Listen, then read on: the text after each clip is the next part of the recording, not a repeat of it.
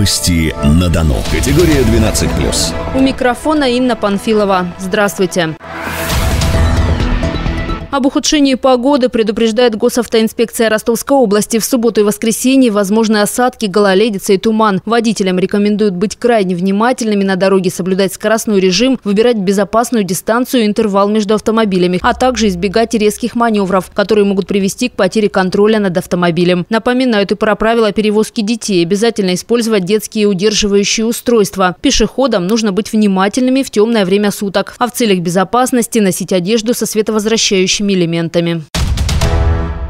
Не допустили распространения инфекции, увеличили показатели по вакцинации населения от гриппа. В региональном управлении Роспотребнадзора подвели итоги года и обозначили план мероприятий на 2019. По словам заместителя губернатора области Сергея Бондарева, показатели заболеваемости по большинству инфекционных болезней в 2018 были ниже среднероссийских. Более 2 миллионов или 47% жителей области прошли вакцинацию от гриппа. Увеличился охват школьников горячим питанием до 94%. В 2019 году это эта работа будет продолжена, рассказывает Сергей Бондарев. Задачи мы сегодня будем ставить тоже довольно-таки сложные.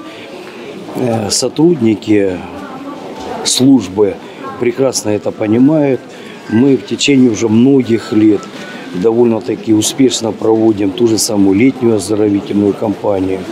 Но проблемы есть, и сегодняшний день требует э, улучшения по всем позициям. Сергей Бондарев поблагодарил сотрудников Роспотребнадзора за работу и настроил на 2019 год. Задача найти, помочь устранить недостатки и контролировать, чтобы они не возникали в будущем. Как отметил руководитель управления Роспотребнадзора по Ростовской области Евгений Ковалев, в планах на 2019 год увеличить охват иммунизации, также и по пневмококковым инфекциям. Ростовская область в 2019 году Э, взяла на себя обязательства, и я стопроцентно уверен, что мы их выполним, обеспечив иммунизацией всех детей э, дошкольного, школьного возраста, а также такие категории риска, как пожилые граждане или люди с заболеваниями хроническими верхних дыхательных путей. А это, как вы понимаете, предупреждение таких болезней, как пневмонии, у которых э, очень часто бывают неблагоприятные исходы. И, соответственно, это огромный вклад увеличения продолжительности жизни и качества жизни людей. Говорили и о детской летней оздоровительной кампании. Показатель эффективности оздоровления детей составил более 95%. В этом году планируют увеличить охват до 98%.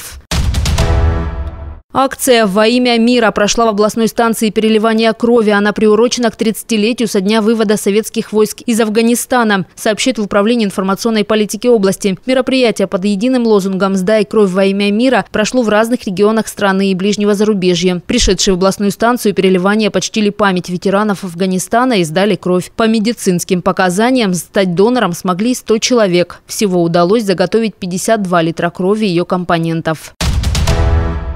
Сначала сдай сам, а потом помоги своему ребенку. Родители учеников восьмых и девятых классов сегодня прошли итоговое собеседование по русскому языку. Такая акция прошла по всей территории Ростовской области. По мнению представителей образования, это даст возможность понять, как помочь детям подготовиться к экзамену, рассказала корреспондентам Дон-24 директор школы номер 17 Ростова Елена Круглова. Вы прекрасно понимаете, что государственная итоговая аттестация – это определенный, ну, скажем, стресс да, для детей, для родителей – и очень важное значение имеет э, то, как э, родители понимают эту итоговую аттестацию.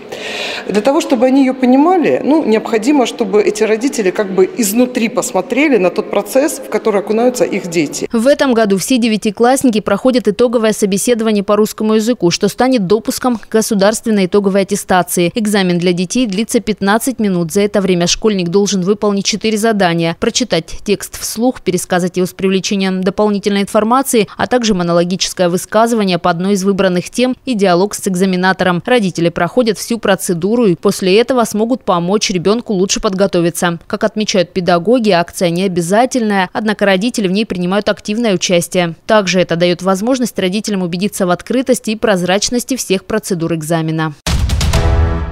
В Ростове прошел фестиваль грузинской культуры. Он приурочен к национальному празднику Давитоба. Проходит на Донской земле традиционно. Как отметил первый заместитель губернатора Ростовской области Игорь Гуськов, в этот день представители Грузии, которые проживают на Донской земле, а также все, кто любит традиции и культуру этого народа, собираются, чтобы поздравить друг друга с праздником и пообщаться. По традиции, во время мероприятия проходит церемония награждения, а также праздничный концерт с участием талантливых танцоров, певцов и музыкантов, которые своим творчеством рассказывают раскроют красоту грузинской культуры. На сегодняшний день на Ростовской области грузинская национальная культурная автономия объединяет более 10 тысяч человек. Она считается одной из самых масштабных.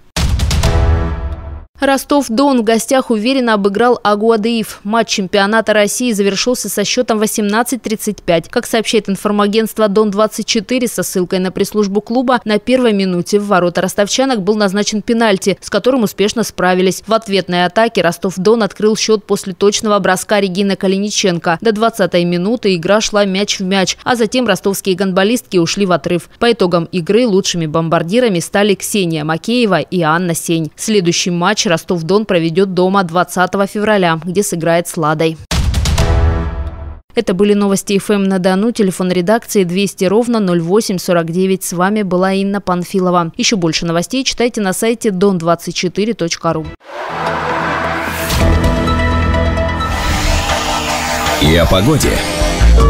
Категория 12+. По информации Гидрометцентра Ростовской области, в Ростове, Азове и Таганроге ночью облачно с прояснениями, возможно небольшие осадки в виде мокрого снега с дождем. На термометре от плюс 1 до минус 1 градуса. В шахтах от минус 3 до минус 5. Также небольшой мокрый снег в Красном Сулине до минус 7, в Белой Калитве до минус 9, в Тарасовском до минус 11 градусов. Временами снег. Ветер северо-западный и западный от 9 до 14 метров в секунду.